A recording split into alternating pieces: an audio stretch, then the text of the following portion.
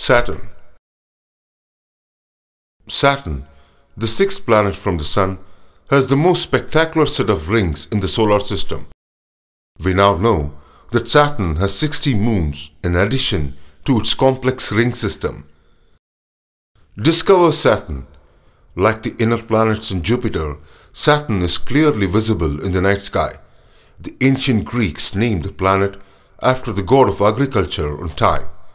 It wasn't until 1655, however, that we knew Saturn had rings. Galileo saw two lumps on either side of Saturn, but he didn't know what they were. The astronomer Christian Huygens later found out they were rings. Much of what we now know about the second largest planet in our solar system comes from the Voyager spacecrafts. Voyager took closer pictures of Saturn and its rings. They clearly show the large gaps in between the rings called the Cassini division and Encke division. Saturn's interior. The giant planets do not have the same layer structure that the terrestrial planets do. Their evolution was quite different than that of the terrestrial planets and they have less solid material. Saturn's interior composition is primarily that of simple molecules such as hydrogen and helium, which are liquids under the high pressure environments found in the interiors of the outer planets and not solids. Motions in the interior of Saturn contribute in a very special way to the development of the powerful and extensive magnetosphere of Saturn. Heat generated within Saturn contributes to the unusual motions of the atmosphere. Saturn's atmosphere. The dramatic appearance of Saturn stems mainly from the spectacular rings. The atmosphere looks much less dramatic. The clouds of Saturn are much less colorful than those of Jupiter. This is because the composition of Saturn's atmosphere includes more sulfur. This adds to Saturn's overall yellow appearance.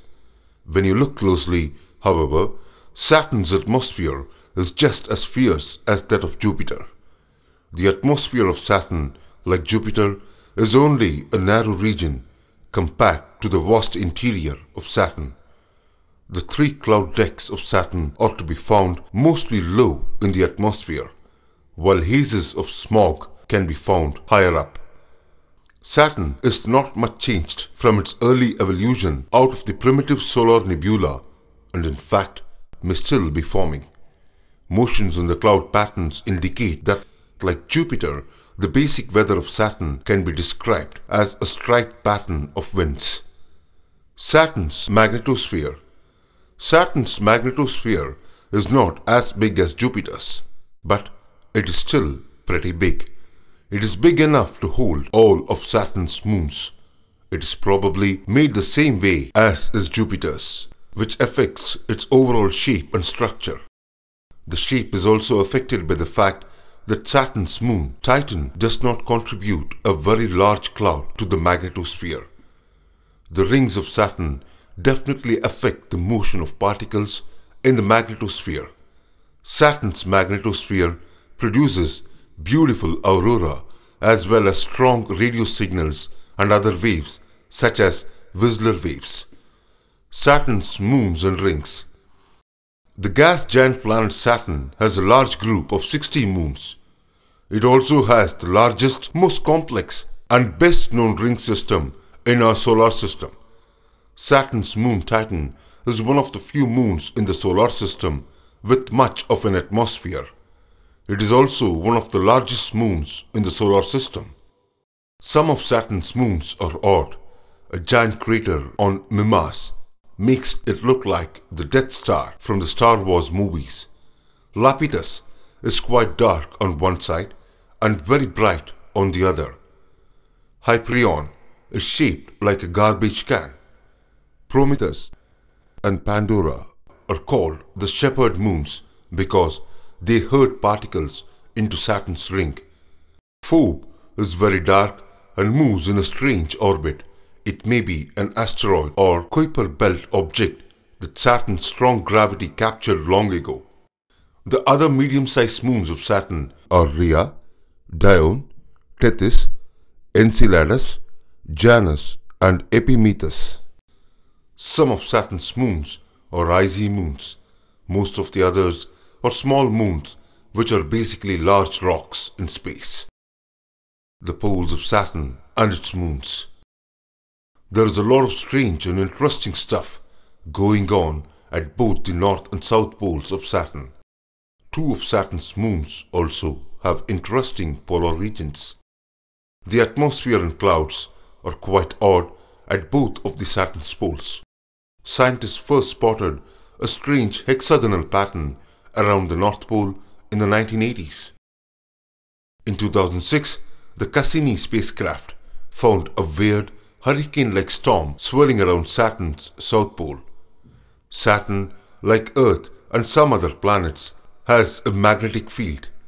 On most planets, the magnetic field is not quite lined up straight with the planet's spin axis.